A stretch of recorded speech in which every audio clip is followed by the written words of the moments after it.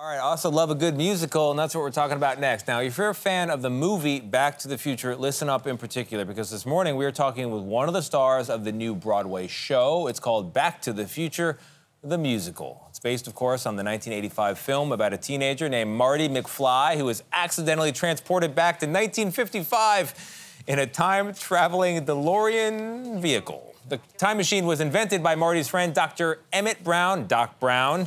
And the musical recently made its Broadway debut after winning an, uh, I don't actually know this award, uh, Olivier Award for Best New Musical in London last year.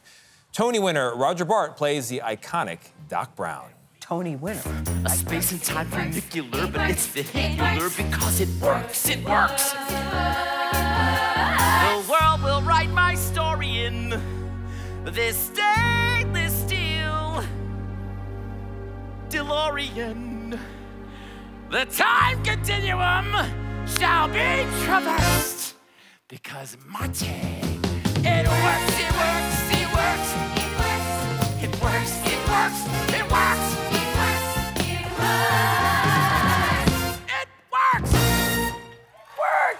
You know what else works? It works. Uh, you in this role, Roger Yes. Bart. Welcome to CBS. welcome to CBS Mornings. Uh, This role and this look. I saw Yeah. him in hair and makeup, and here he Looks is. great. Yeah. toned down.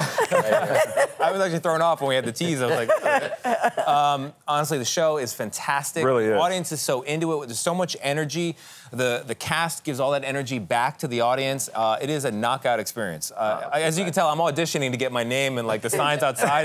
knockout experience. Yeah, Tony yeah, yeah. CBS Morning. Uh, what was it like for you to step into this role? Because it's an iconic role, right? Mm-hmm. It's like it's been done and done really memorably. So it's Yes. got to be tough as an actor to do that. very, very fun. You know, Chris Lloyd set the bar very, very high, Wow. but also uh, because he is so wonderfully animated and um, so funny and so warm and so great in the role, he could he he made it easier for some way is for me. I, I swear that every time I come out on stage, it's a couple things that get the entrance applause. It's usually the car, Yeah. Chris Lloyd, and then eventually they're like, "Who is that guy?" so pretty good. That's pretty it. So. Chris Lloyd did a great job. I'm just riding on his coattails. He apparently came by, right, to say hello, to visit He with the did, cast. yeah. He's come many times like? to see us. Great. He's a, he's so he's so lovely. There he is right there. Yeah, very supportive. He he uh, his big question to me when we started out was I, he said, "So what is this? A musical?" I said, "Yeah." And he goes, "Oh, I can't wait to hear how Doc sings." And I thought, "Yeah, yeah, me too." But he got Well, Doc sings very well. Yeah. I love Yes. the Dreamer song. It, it, uh, I thought you were so good. The thing that's fun about watching you, Roger, is that you seem to be having such a great time Mm. from the moment you step out on the stage. And I'm wondering, I was there Tuesday night, seat K113. I thought we were a very good audience. Mm. You were does, excellent. Does the audience make a difference for you and your performance? It does. You I know, it- wonder. It, it's so it's it's it's the it's the great scene partner that you don't have while you're in rehearsal, and then suddenly there they are. And it, it, it I would say it's a little like a, just being on a funny blind date. You know, there are those great great dates where you're like, just let's order another bottle of wine, like your audience. were in. Yes. And then there, of course, there are occasionally the ones where you're like, you know what, we'll just take the check. But it's a mixture of theater and cinema, is it not? I've never seen a production like that, I have to It say. It really is. You know, we have a really ex- exciting. Um, Gareth Owen created a very great soundscape. It's very, very visceral to be Yes, the show. very visceral. And also, um, you know, Tim Hatley and the other designers, Hugh Vanstone and and uh, Tim Lutkin, they've all created a world visually Yeah. uh, that is really like nothing you're ever going to see uh, uh, on Broadway ever. It, it honestly feels like it feels like uh, a movie uh, and and theater at the same time, but also like a ride almost I mean, because everything's that's moving right. around you and there's Yeah. interactive elements, you know, bubbles or a little bit of water.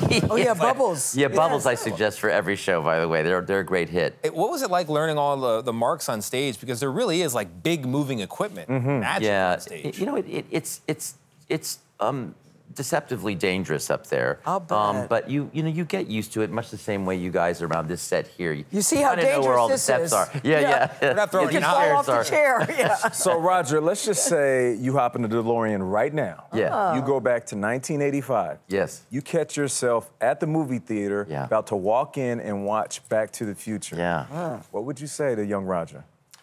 I would say um, try not to be too jealous of Michael J. Fox because he is so good looking and so talented, and just think to yourself, you know.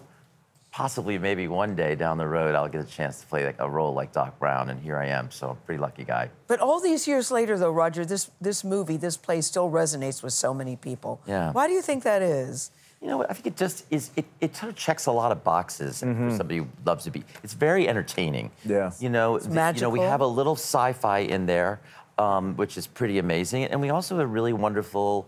Um, warm family story about a, a, a kid who kind of gets to know his dad as a peer, and it's sort of, that's sort of a, Yeah. a, an interesting idea that not a lot of us have seen before. So it, it kind of has a, a lot going for it. It's also really, really entertaining. It you know, is. So, It's which is what you would ask about with me. I have a great time doing I it. can- because it- it it seems is so like- fun for people. You know, And we, we love it when you break the fourth wall. And it's like you're talking to us outside of the script. Yeah. There's a good magic Yeah. trick. I want to know how you did it. I, With I the s- knives, I mean, there's a bunch of magic. No, the way that he knows the magic trick. I want to know how did you do that? Uh, we got a few, so that's it's good. You have to come figure it out. yes, yes, Great yes. show. It's a great musical. My daughter loved it. 11 year old Mia loved it, right? Yep, she's 13 It's- years it's old. Huge. It's Take great. the whole family. Roger Yeah. Bart, thank you very much. Thank you Appreciate for it. you can me, see Roger on Broadway.